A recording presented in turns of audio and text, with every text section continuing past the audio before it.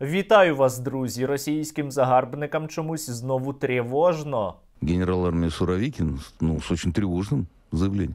Сложное м, положение на Херсонском направлении. Вони визнають, що мають серйозні проблеми на Херсонському напрямку, та навіть натякають на те, що готові до жесту доброї волі. Но, тем не менее, мы выражаем тревогу и как бы тем самым, не знаю, морально готовим, что ли, себя к этому Это шаг доброй воли. Другой вопрос. Э, э, Мне не очень понятно, что уже принято решение отдать Херсон. Причиною цієї істерики стали учорашні заяви генерала Суровікіна, командувача російськими військами на території України, який визнавав, що ситуація для Росії дуже дуже непроста. Обстановку в зоне проведения специальной военной операции возможно охарактеризувати як напряженную. Напряжонна але як вони змогли дійти до такої ситуації? Вони ж, наче як Київ мали брати. Возьмем Киев! Напевно, усе ж таки так звана спецоперація йде чітко за планом Збройних сил України. Ну а ви, друзі, обов'язково підпишіться на мій канал, натисніть лайк до цього відео та залиште під ним будь-який коментар. Тоді воно набере якомога більше переглядів.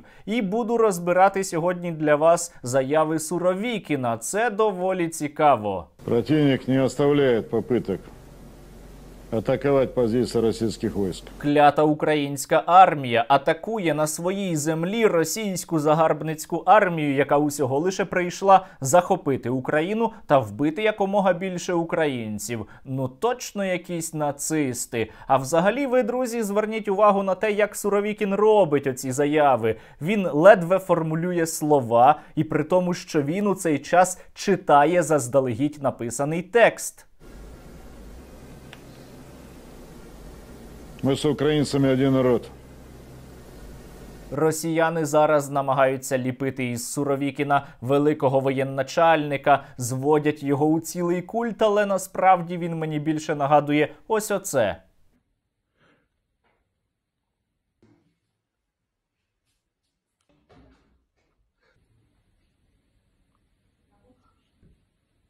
Знаете что? Отож, рухаємося далі. Суровікін, як ви пам'ятаєте, сказав на початку, що ситуація для російської армії під час проведення так званої спецоперації напряжонна. Так ви знаєте, хто створив для неї оцю напряжонну ситуацію? Виявляється, це були абсолютно непідготовлені і немотивовані бійці територіальної оборони. В основном это силы территориальной обороны, не прошедшие даже полный курс подготовки. Как правило, такие подразделения имеют низкий моральный дух. А вже ж наша тероборона має підготовку, тому що воює вже сім місяців, навіть більше. І звісно, наша тероборона має дуже високу мотивацію, тому що територіальна оборона це добровольці. Але Суровікін про це певно не знає. А якщо і знає, то максимально зараз принизив російську армію. Хоча куди вже більше. Мы не стремимся к высоким темпам продвижения, Продвижений вперед нет, но успехи есть. Ну і далі Ілля Кива російської армії нарешті почав казати про ситуацію у Херсоні. На даному направленні сложилась непростая ситуация.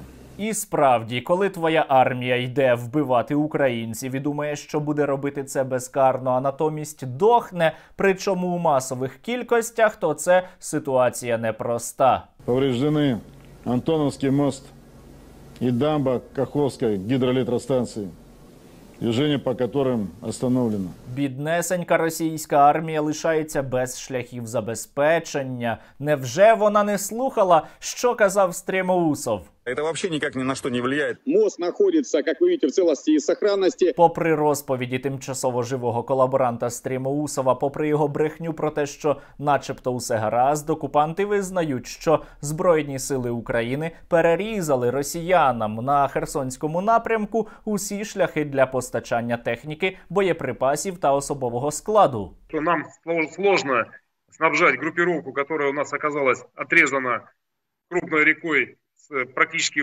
поврежденными всеми и э, уничтоженными переправами через Днепр. Ситуація для російських солдатів, які перебувають у тимчасово окупованому Херсоні, і справді дуже і дуже складна, але вона буде іще гірша.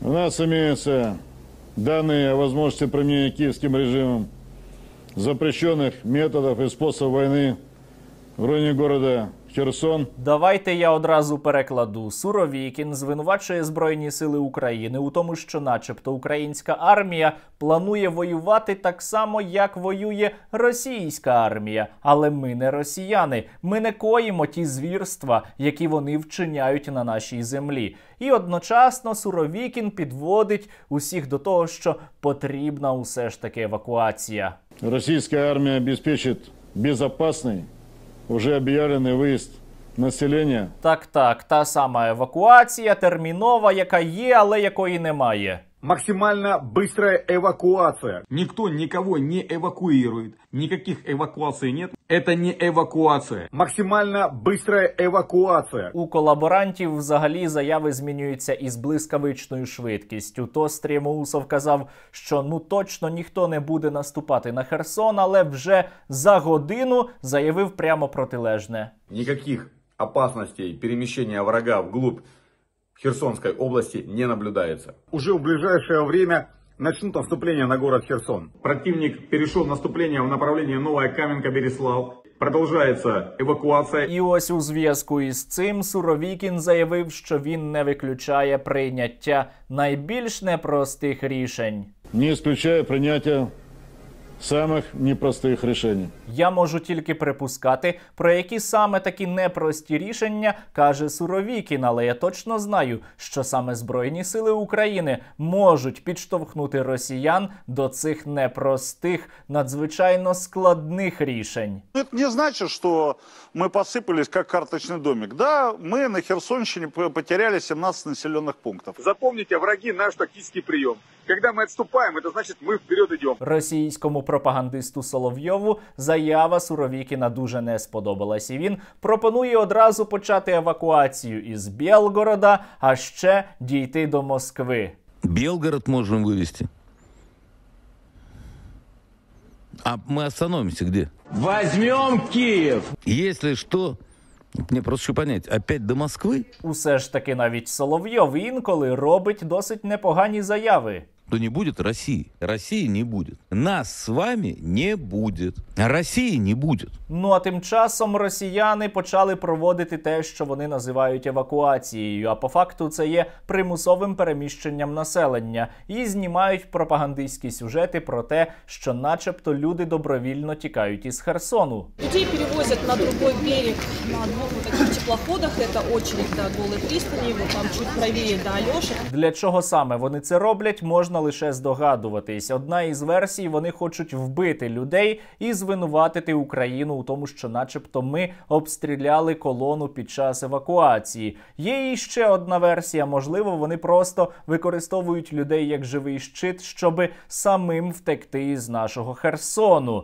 Але у такому разі постає питання: а як же їхній наступ на Миколаїв? Скорее мы зайдем в Николаев уже в ближайшие недели. Як би там не було, зараз у російському інформаційному просторі одночасно лунають протилежні заяви про те, що, начебто, росіяни не планують тікати із Херсону, але планують тікати із Херсону, тому що дуже важко стояти на смерть. Город сдавать мы не собираемся. Стоять насмерть?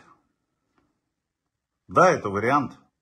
Но подходит ли он нам сейчас? Стоим до конца. Город Херсон никто не собирается никому сдавать. Я припускаю, що росіяни і справді планують тікати із українського Херсону, тому що у них там надзвичайно складна ситуація. Але це також може бути і елементом інформаційної операції. Можливо, у них на меті абсолютно інші плани, і вони ось оцими повідомленнями про, наче як евакуацію, просто прикривають те, що хочуть зробити. Та як би там не було, що би собі росіяни не планували, я знаю точно, що буде саме так, як скажуть Збройні Сили України. Тому ми із вами маємо їм допомагати. Ви повинні усвідомлювати, друзі, що далі легко не буде, що у нас попереду іще тривала та важка боротьба. Але ваша допомога Збройним силам України завжди наближає нашу спільну перемогу.